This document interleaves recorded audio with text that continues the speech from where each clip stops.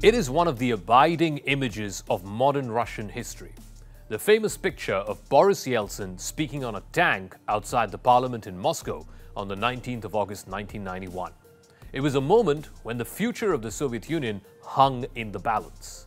That morning, a group of communist hardliners had staged a coup against Mikhail Gorbachev.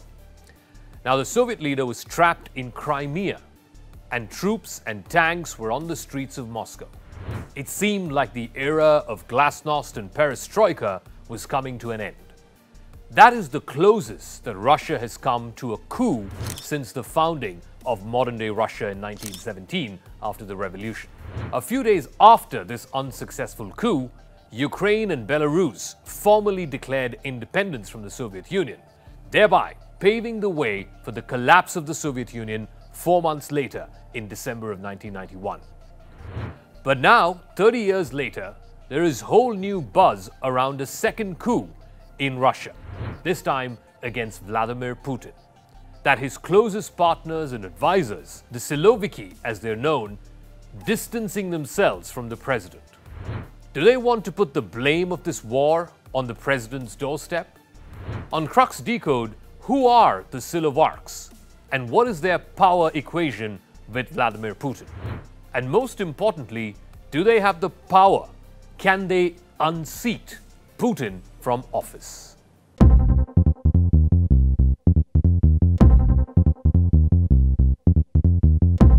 Now, it's been claimed that former Russian generals and KGB officials have been making plans to remove Vladimir Putin from the top job in the country. It's thought that the plan would be to oust Putin, who's reportedly survived multiple assassination attempts in the past, this is a bid to try and end the bloody war in Ukraine. Putin himself is now said to be bracing for a coup as high powered groups that are close to him want him removed. And the objective is that they want to lay the blame for the war in Ukraine at the president's door.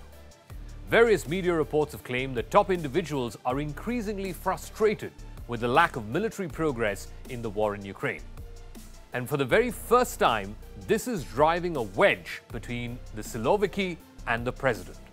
The Russian president has been bracing for a coup for some weeks now because he's been facing fierce criticism over the special operation in Ukraine. In fact, Vladimir Putin, since this war began, has purged around 150 of his own spies. So then, who exactly are the Silovarchs? The Silovarchs are a group of Russian power elite who rose to the top through business success in the 1990s. They are the meeting point between the state and the power of business. A professor of political science at the University of California, Los Angeles, Daniel Treisman, coined the term Silovarch in 2006. Now, the word Silovarch itself is a combination of Siloviki and oligarch. Siloviki translates as the force of the people. It includes top dogs in the security services and in law enforcement. The Siloviki are in effect part of the innermost circle of Vladimir Putin. Putin himself is a Siloviki because he's a former member of the KGB. Russia's army is deeply unhappy at the new and curtailed strategy which President Vladimir Putin has ordered to adopt in Ukraine. The initial goal was the total capture, the total surrender of Ukraine. To go out there and make sure that Kiev, the capital, falls, and of course, in a war, it's when the capital falls that the country falls its army falls. That's when you have victory and defeat in a war.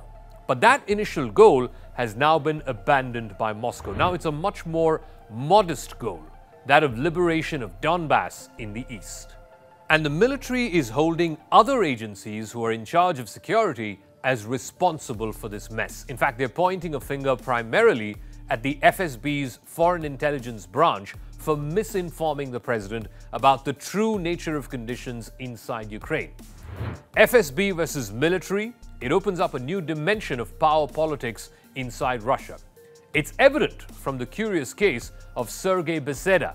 He was one of the heads of the fifth service of the FSB. The job of this particular wing is to gather political intelligence in Ukraine, also to cultivate pro-Kremlin opposition in Kiev. Now, this particular general, he was sent to the infamous Lefortovo prison in Moscow. It has had a horrible reputation since the Stalin purges in the 1950s. Innumerable victims have been murdered in the basement of this building. The Kremlin has made frantic efforts to hide the details of General Beseda's arrest, going so far as to change the general's name in prison records. The investigative committee, which is Russia's main investigation authority, went so far as to deny Beseda's criminal prosecution. But the videos of General Beseda's plight have recorded millions of views on Russian YouTube. They were widely debated on pro-Kremlin Telegram channels. The rumor mill went wild, suggesting that compromising material on Beseda was provided by its rival agency, the Foreign Intelligence Service, the SVR. So then, what exactly is going on here? Is such interdepartmental rivalry common among Russia's power elite? It is possible, because after all, wherever there are groups of humans in different collectives, all pursuing different objectives, politics can't be too far away. There is a serious difference between the military and the intelligence agencies about the Ukraine war. Russia's military believes that limiting the war is a serious error. They're now arguing that Russia is not fighting Ukraine, instead, Russia is fighting NATO. Senior officers therefore have concluded that the Western alliance is fighting through the all-out increasing supply of sophisticated weaponry to Ukraine. The military is now demanding an all-out war, including a full-throttle national mobilization. Many in the Russian army were expecting President Putin to call for a full national mobilization in his Victory Day speech on the 9th of May. But that was not to be. Putin gave no such call, which only furthers the army's suspicions that the FSB is misleading the president. Now, what's interesting and what is absent uh, in all these discussions within the military, whether it's public discussions or private, is any form of criticism towards Sergei Shoigu. He is the Minister of Defense. Shoigu is the public face of the war in Ukraine. Somehow, Sergei Shoigu has succeeded in keeping the respect of the military and redirecting all of the anger away from him. In fact, much of the anger is being redirected at intelligence agencies as well as other arms of the defense services. Privately, the Army and the Secret Services have even blamed not just the Fifth Service of the FSB for misinforming the President, but they've also blamed the President himself for making a bad call on changing military strategy. Now, if you remember back in 2014, when the Russian army occupied Crimea, the military and the security services were on the same page with Putin. They fully supported his decision to annex Crimea, they were enthusiastic about the way it was done, and very significantly, it was done in a matter of a few weeks. That is very different from the situation that we are here in 2022. The question is, what will be the fallout of this different situation? What will be the fallout of what is now a very muddled war effort in Ukraine? Will it cost Putin? Will it cost his defense minister? Or will there be clarity at the end of a few more weeks of deadly clashes between Russia and Ukraine?